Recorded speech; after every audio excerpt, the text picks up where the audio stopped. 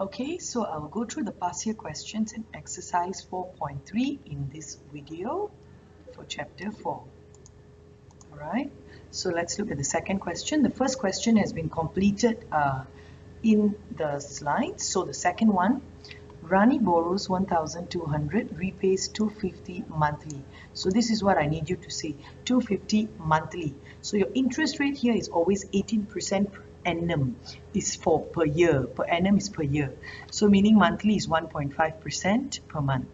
Alright, so the amount owed at the beginning of the month is 1002.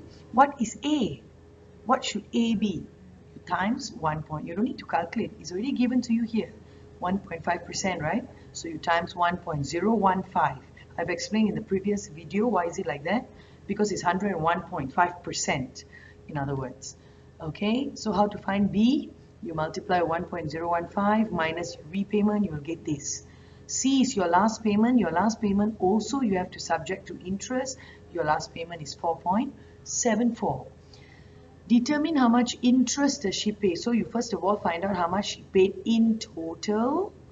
Then you minus the principal, you will get the interest. Question 3.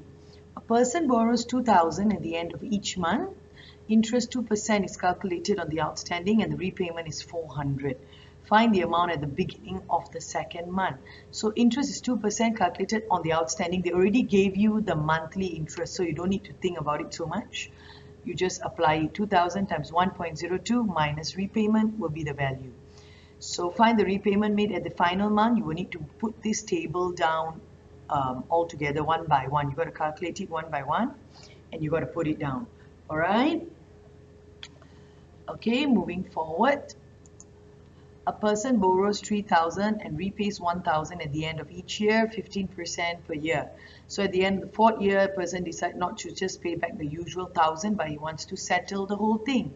So you do for three years, and whatever that's balanced, you charge interest to it, and that will be your final repayment, all right? Moving on, Junior is Junior is buying a motorbike costing 4.5. Now, the moment you see flat rate, this is what I want you to see. What is flat rate? Simple interest. Buying a car, buying a bike, buying flat rate is simple interest. Okay, so for full 4,005, I equals to PRT. Your principal 4,005, 14% times 3 is your simple interest formula. Total payment, then you divide with the total number of months. This is what you will get. This part B says 900 is from his savings. So if 900 is from his savings, meaning now your principal is only 36. Okay, so it's 1512. So your total payment is 361512. Why you must add 900? 900 is, is also the cost. If you also paid 900, so that is the cost. But when you find monthly payment, you cannot add the 900. It should only be the principal plus interest. 5112. Understand?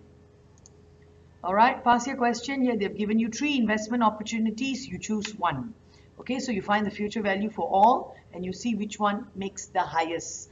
When it's investment, you choose the one with the most money. If it's loan, you choose the cheapest option. So you have to be very careful here. So you find one by one, like how I've done here, and then you choose the one that yields the most money.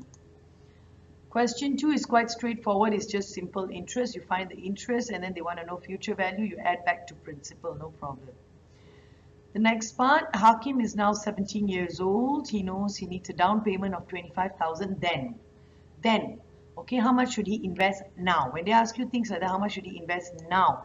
What you want is principal. So your future value equals to principal times 1 plus your interest 5% over quarterly to the power of 32.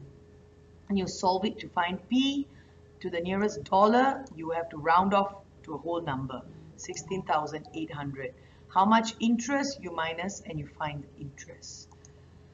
Okay, this one 12% PA is per annum, meaning per year for the first 30 days and then it reverts to 7.5% per annum per year. Okay, $5,000 is deposit. So calculate the interest in the first 30 days. So 5,000 times 0.12, they say 365, you follow, you get this. Remainder of the year, 0. 075 okay it will be 335 the balance number of days 365 this is your value Calculate the total interest received for the year. You just add both of these up, you will get this. what is the effective rate of interest? The fastest way to do this is put the interest over principal times 100. Effective rate of interest is not your interest rate, is different. Effective rate is, a, is like a prorated rate for the year. So you just take the interest you earn over the, so you use this way, the answer will be slightly different by 0.01, but it's fine. Next part, credited annually. So this is for one year. What is the difference? You just minus.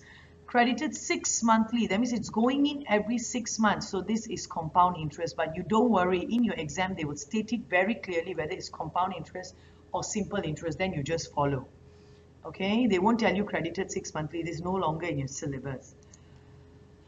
Okay. Lynette deposited 20,000. So there are two ways to do this you can use 20,000 and then the first year because uh, it'll be one right so it's just compounded quarterly that's your value and then for the second year you'd use 20,000 again but here you write two years okay so you will get this value total interest you just add it up okay if he leaves the money how much would he have at the beginning of eight year? When they say beginning of eighth year meaning we're talking about seven years. A lot of students will put eight here. No beginning of eight years is what happened in the last seven years. Okay unless they tell you end of the eight year then here you can put eight. Understand? All right next one. Bank A bank B one is ordinary one is exact. All right.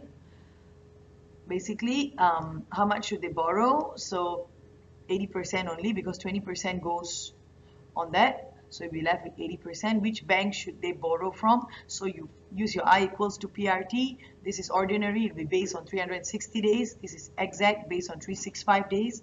You find uh, which one actually has a lower interest and that is the bank that you would choose. Alright, any questions, please reach out to me and I will help you.